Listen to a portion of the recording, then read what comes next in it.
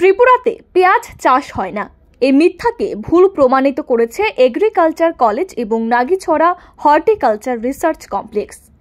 পেঁয়াজ চাষ করে তারা দেখিয়ে দিয়েছে, আমাদের রাজ্যে বারো মাস পেঁয়াজ হয়। নাগেছড়া স্থিত হর্টিকালচার রিসার্চ কমপ্লেক্সের বাগিচা এবং কর্মপদ্ধতি পরিদর্শনে এসে বৃহস্পতিবার এমনই তথ্য জানিয়েছেন রাজ্যের কৃষি ও কৃষক কল্যাণ দপ্তরের মন্ত্রী রতন নাথ। রাজ্য সরকার গঠনের পর থেকেই কৃষিতে দেশের রাজ্যগুলির মধ্যে ত্রিপুরাকে স্বয়ং সম্পূর্ণ করে তুলতে উদ্যোগী হয়েছে ভারতীয় জনতা পার্টি। ধান ও মশলা সহ নানান খাদ্য শস্য উৎপাদনে কৃষি মন্ত্রী রতনলাল নাথের উদ্যোগে অক্লান্ত কাজ করে চলেছে রাজ্যের কৃষি ও কৃষক কল্যাণ দপ্তর। এদিন মন্ত্রী বলেন, দেশ এবং বিশ্বের নানান জায়গা থেকে নানা প্রকার বীজ সংগ্রহ করে আনা হয় নাগেছড়ায় গবেষণা করে দেখা হয়, রাজ্যের আবহাওয়া এবং মাটির সাথে কোন ফসলটা মিলবে। সেই মতো বীজ সংগ্রহ করে তা ফলনের জন্য পাঠানো হয় রাজ্যের কৃষকদের কাছে। এর পাশাপাশি এখানে হাতে কলমেও প্রশিক্ষণ দেওয়া হয় রাজ্যের কৃষকদের। বর্তমানে বিশ্বে কৃষিতে এগিয়ে রয়েছে ভিয়েতনাম। সেখান থেকে নতুন প্রযুক্তি শিখে এসে রাজ্যে তা প্রয়োগ করতে চলেছেন কৃষি দপ্তরের সচিব এবং পরিচালক। এতদিন একটা এর রাজ্যে প্রচলন ছিল, আমাদের রাজ্যে পেঁয়াজ হয় না। কিন্তু আমাদের এগ্রিকালচার কলেজ এবং আমাদের, এই সেন্টার রিসার্চ করে দেখেছে এবং এখনও চাষ করছে, আজকে আপনারা দেখেছেন যে পেঁয়াজ আমাদের এখানে হয় এবং বারো মাস হয়। শুধু লক্ষ্য রাখতে হবে যেন জল না জমে। এই জিনিসটা লক্ষ্য রাখতে হবে।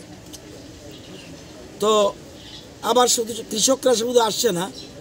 আমরা আমাদের রাজ্যে আমরা এই সরকার গঠনের পর আমরা ভোকেশনাল কোর্স শুরু করেছিলাম স্কুলে। আপনারা জানেন ভোকেশনাল কোর্স এর মধ্যে প্রথম একটা সাবজেক্ট আছে এগ্রি তো হাতে কলমে স্টুডেন্টরা স্কুল কলেজের ছেলেমেয়েরা এখানে এসে দেখে যায়, যেমন গত তিন মাসে এখানে প্রায় আড়াই হাজার স্টুডেন্ট এসছে দেখার জন্য নাগিচড়াতে যে এগ্রির কি কি বিষয়ে আমরা হাতে কলমে তাদের শিখতে পারি, ওই জিনিসটা দেখেছে রাজ্যের কৃষি ব্যবস্থাকে উন্নত করতে হর্টি ইকো ট্যুরিজম শুরু করার পরিকল্পনা করেছেন কৃষি মন্ত্রী রতনলাল নাথ। এর পাশাপাশি শুরু হতে চলেছে পাম অয়েলের উৎপাদনও।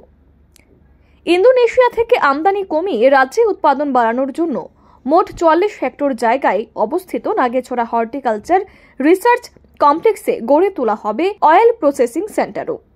রাজ্যের জিএসটিতে তেতাল্লিশ শতাংশ কন্ট্রিবিউশন করেন যে কৃষকরা তাদের প্রাপ্য টাকার পরিমাণ বাড়ানোর জন্য চিন্তা ভাবনা করা হচ্ছে বলে এদিন জানান মন্ত্রী।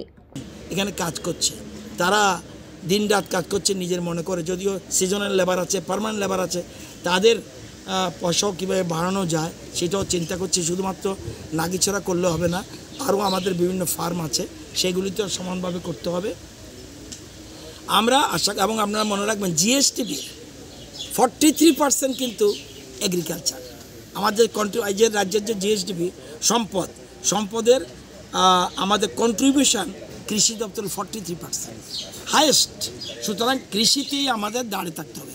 আমরা যে শিল্পও করি কৃষিভিত্তিক শিল্প করতে হবে। আমরা যাই করব কৃষিভিত্তিক।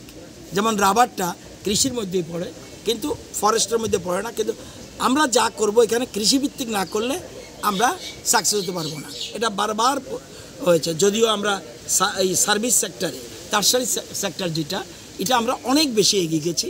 আমাদের থেকে কম, কৃষির থেকে কম, কিন্তু হোটেল রেস্টুরেন্ট দেখবেন আগরতলা শহরে অনেক বড় বড় মান্যবর তার হোটেল রেস্টুরেন্ট কত বেড়ে গেছে। আঠারোর আগে এতগুলি ছিল না কিন্তু, অর্থাৎ ঘরে ঘরে রোজগার, অর্থাৎ এই যে স্লোগান খেয়েছে পাবলিক চেঞ্জ হয়ে গেছে। দৃষ্টিভঙ্গি থাকতে হবে। খাদ্যশস্য উৎপাদনে খুব ভালো কাজ করার জন্য দক্ষিণ জেলা, গোমতী জেলা, সিপাহী জলা জেলা এবং ঊনকোটি জেলার কৃষকদের বৃহস্পতিবার ধন্যবাদ জানান কৃষিমন্ত্রী Ratanlal Nath. Bureau report R E news.